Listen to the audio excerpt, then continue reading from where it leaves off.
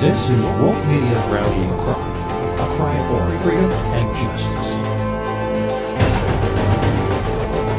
You're watching Woke Media, Call Woke.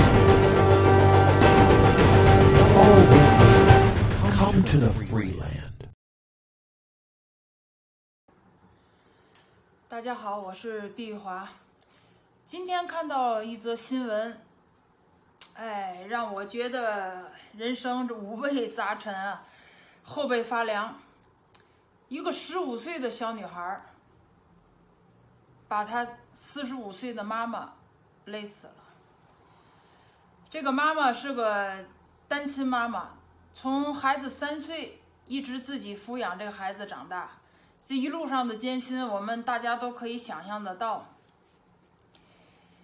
对孩子要求也非常严格，对考试成绩啊什么这些 肯定都是比较苛刻的，可能跟孩子沟通的也不是很多。这个孩子十五岁，跟我女儿一样同岁。看完以后，我真的非常感慨，在一个什么样的这个社会的制度下，这个孩子才会有这种想法，要把自己的妈妈勒死。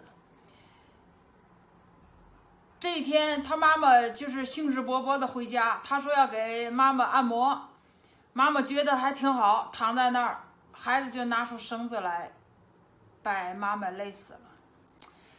哎呀，真的是孩子是有有备而来，妈妈是一点防备都没有。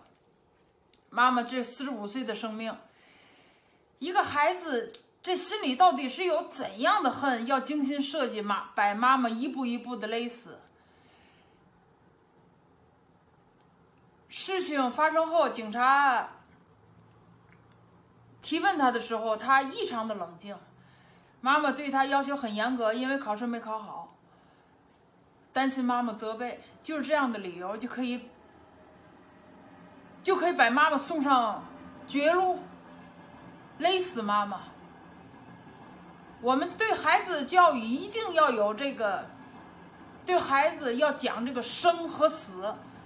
我们中国人可能比较忌讳这个话题，不愿意谈。其实，在西方国家里，经常要谈这个话题的，让我们孩子正确的面对生和死。哎，这记者又采访了周围的邻居和熟悉的人，背后的故事就慢慢的浮出水面。这个单亲的妈妈是个律师，强势又独立。独自抚抚养女儿多年，确实对女儿有着浓烈的爱，严格的要求。这个孩子的控制，这妈妈的控制欲，确实把孩子一步一步毁了，也毁了自己。最近这些年，这种新闻也确实很多啊。呃确实，教育的目的不是把他培养成才，而是要把他培养成人。这个是我们所有做妈妈都是应该了解的。这个非常重要。这个惨剧给我们做父母的也敲响了警钟啊，就是让孩子先做人，孩子要吃得了苦，耐得住压，做一个有韧性的人。而且我认为最主要的就是让孩子要是懂得感恩，感恩父母的培养，感恩父母的教育。还有和孩子这个沟通，不能让孩子在一个非常大的压力下，你你你，孩子压力太大的话，尤其现在这孩子对这个生命没有敬畏心，他是会把这爱转成了这个非常非常深的一种恨。所以他才下得去这种这种毒手，才十五岁的孩子，花一样的年纪。我们就是我认为这个感恩的心是人类最美好的一个品质。不知道感恩的这个子女，确实这个比毒蛇的利刃更能这个咬痛人的心，尤其这个这种对妈妈都可以下得了狠手的孩子，真的是一种。这个这个社会的悲哀，哎呀，确实，我们我们捧出了全部的真心，却成了你最恨的人。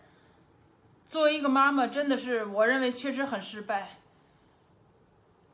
想让孩子考这个学校，考那个学校，你先叫孩子懂懂得感恩，先跟孩子成为朋友，跟孩子可以交谈，在孩子失意的时候，在孩子痛苦不高兴的时候，能跟孩子沟通，我觉得这比什么都重要。这可好，没有看到孩子长大，孩子先把你杀了，这真的是。作为妈妈，我我真的是觉得是非常悲哀的一件事情。生命是最可贵的，所以我们对孩子教育，生和死都要跟孩子说明白了，要让孩子对生命有一种敬畏的心。好，谢谢大家。